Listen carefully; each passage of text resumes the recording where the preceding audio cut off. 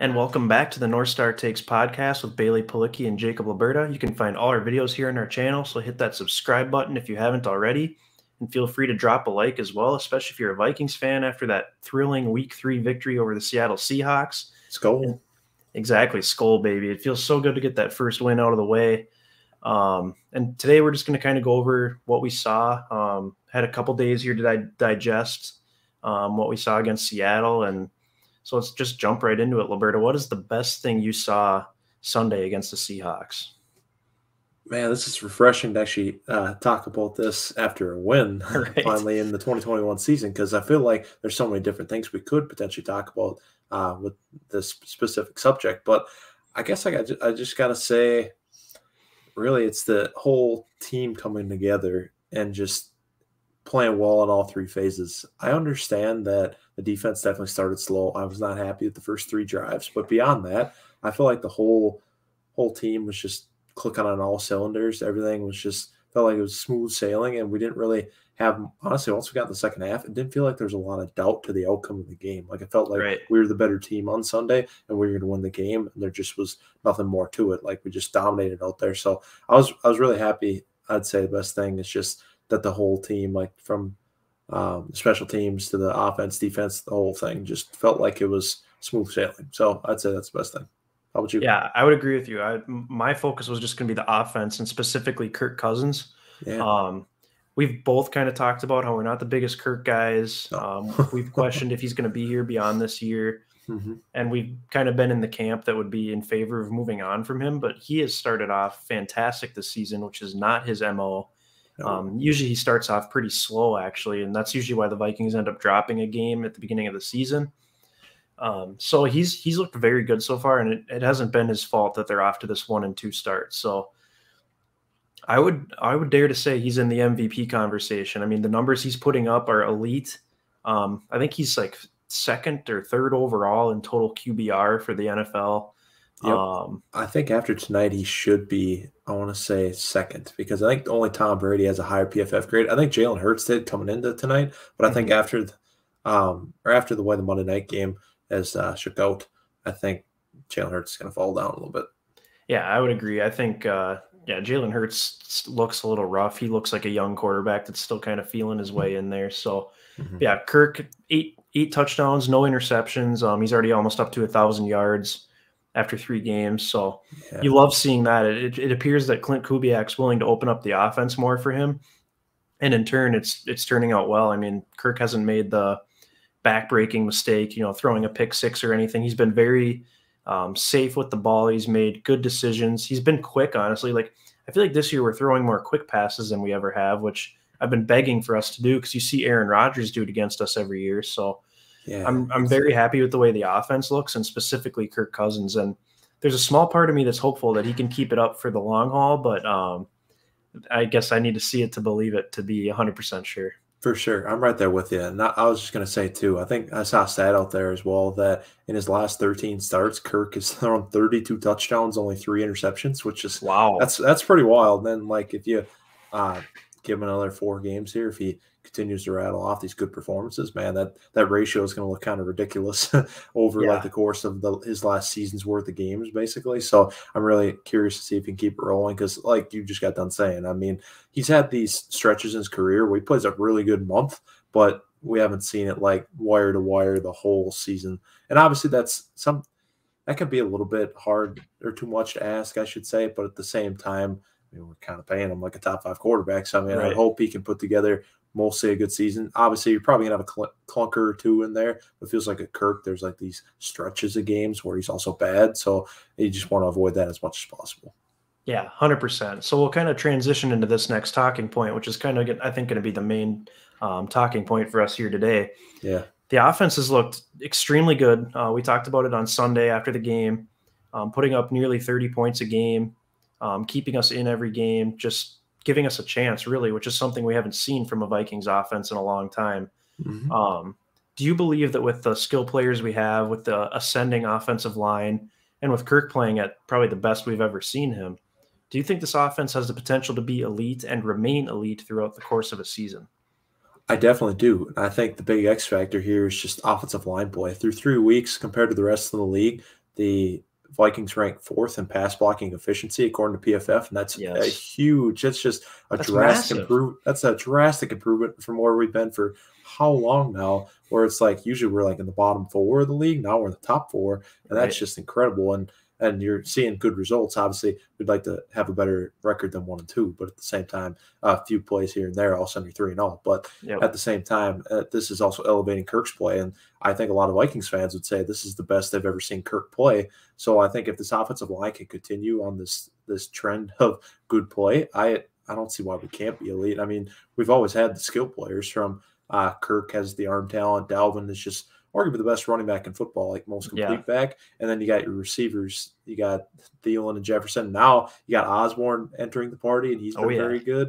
And then even Conklin having having a uh, career yeah. game against the Seahawks. So I think there, this offense does definitely have the potential to be elite. I feel like we're creeping towards that as long as the offensive line can remain consistent and and just playing not even like they don't even have to be fourth in the league. If they're like top 10 or at least top half, I think you're going to still see a lot of good results.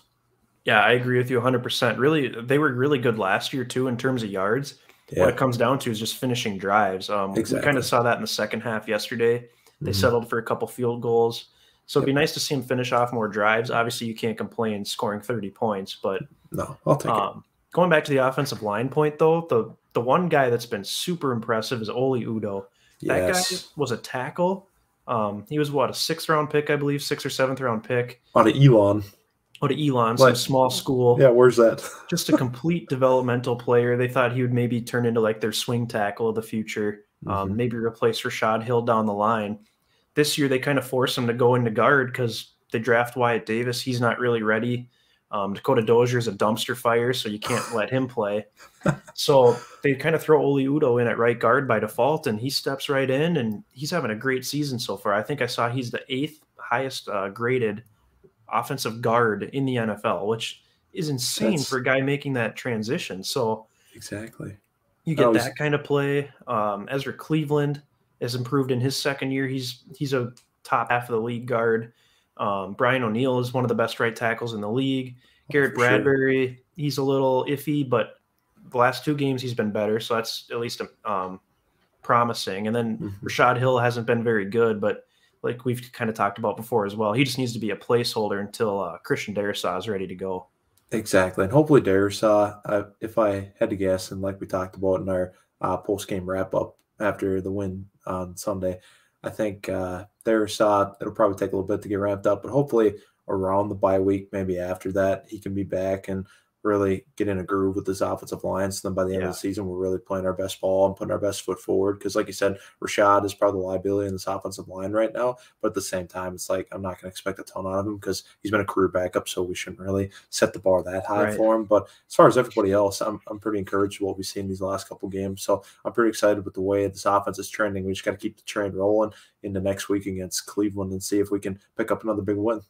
Yeah, hundred percent. And uh, like you mentioned, I think it definitely is starting to look like Darrisaw won't be playing until after the bye. Mm-hmm. Um, he's just he's been limited in practice all along since he's been back.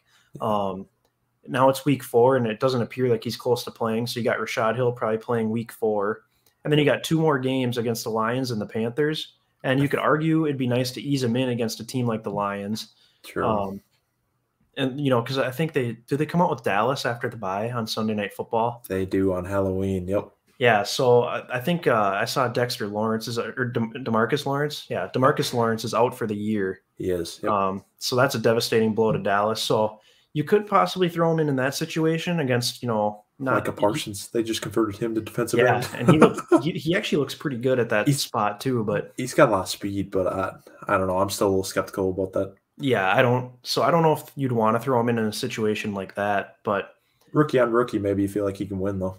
Right. Yeah. So I don't know. I, they'll they'll find a spot for him to come back, I'm sure. But it, it really with three games left until the bye, it's kind of starting to make sense that they would wait until after the fact to get him back in there. Yeah, and at the same time, I feel like I would hope you feel like you can get by. Obviously, Cleveland, that's going to be a, an animal on its own with those head rushers they got there. It all starts and ends with Myles Garrett. But then once you get beyond that, you'd like to think you can get away with it against Detroit and Carolina, hopefully, and then give them another week on top of that during the bye to really, hopefully, ramp up to full practicing, playing with the ones, get yep. plenty of reps. So then, like you said, he could potentially come out that uh, post bye week game against the uh, Cowboys in week eight. So yeah, absolutely. So one last uh, point here. So we talked mm-hmm. three mm-hmm. three more games until the bye.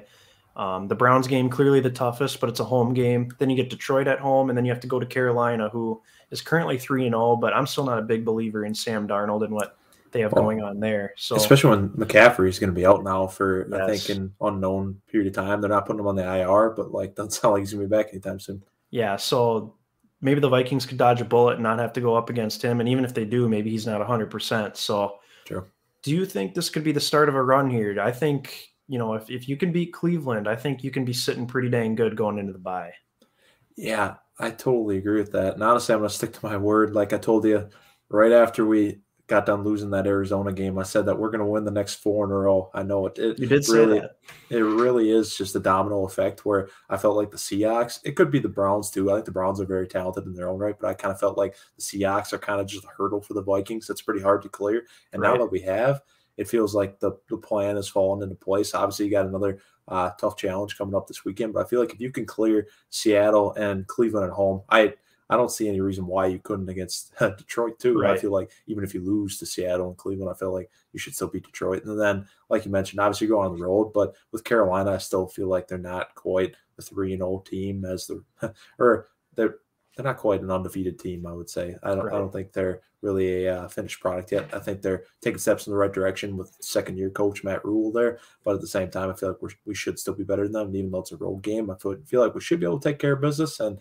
uh, cross my fingers. And you know what? I'm I'm just holding true to what I said last week and saying we're we're going to run the table here in the bye week and be four and two, and then everybody will be able to hopefully be satisfied with that. That I think a lot of people before the season have been happy with a four and two yeah. start the, going in the bye. So let's hope we get there. Yeah, I, I agree with you. I think I feel like Cleveland's definitely a winnable game. I know they're a good team, but it just it mm-hmm. feels like you know the Vikings historically do well against an AFC team at home at noon. Um, like it, it just seems like the perfect formula for them. They finally have a noon game again, which is nice. True. Um, Baker Mayfield, his first time at US Bank Stadium with the loud crowd noise. So I think that that could throw some um, wrenches at him as well. So yeah, yes. I think if you can beat the Browns, it's critical that you don't look past the Lions and the Panthers. Like you truly have to take it one game at a time because we've seen the Vikings take some opponents lightly in the past, like a few oh, years ago when that comes back to bite you. We were favored to crush the Bills, and the Bills yep. end up beating us in a nightmare game at home. Yep. So that was yeah.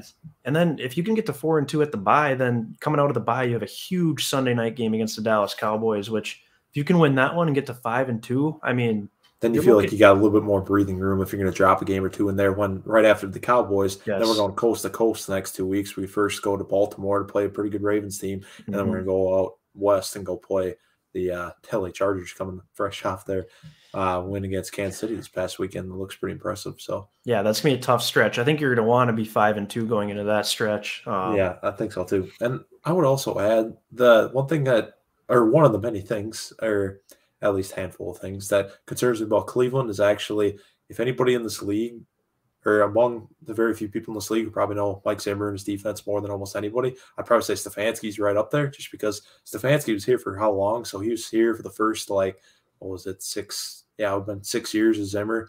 And I feel like he he's probably around him all the time and yeah knows exactly what what the Vikings like to do. So I think that's that's a little bit scary that it's like uh, coming back as an assistant, a longtime assistant, and now has his own talented team. So yeah, I think that's a little bit that's a little bit daunting, but at the same time, uh, you never know.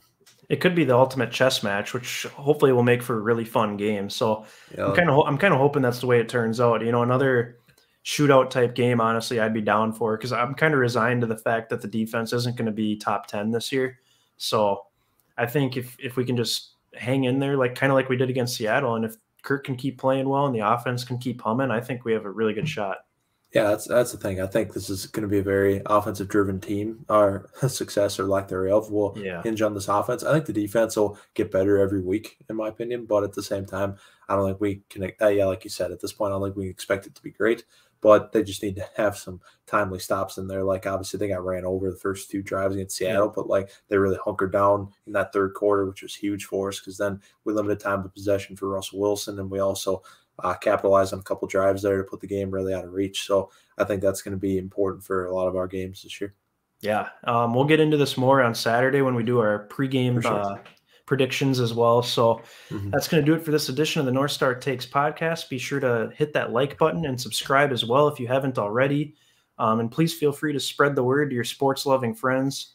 Um, give us a follow on Twitter and Instagram, and for sure, leave your comments below how you're feeling about this Vikings team. Um, if you're loving their offense and think they can be, you know, an elite tier offense in the NFL, and if you think the Vikings are about to go on a run here and start shocking some people. So leave your comments below for sure. Thank you for watching.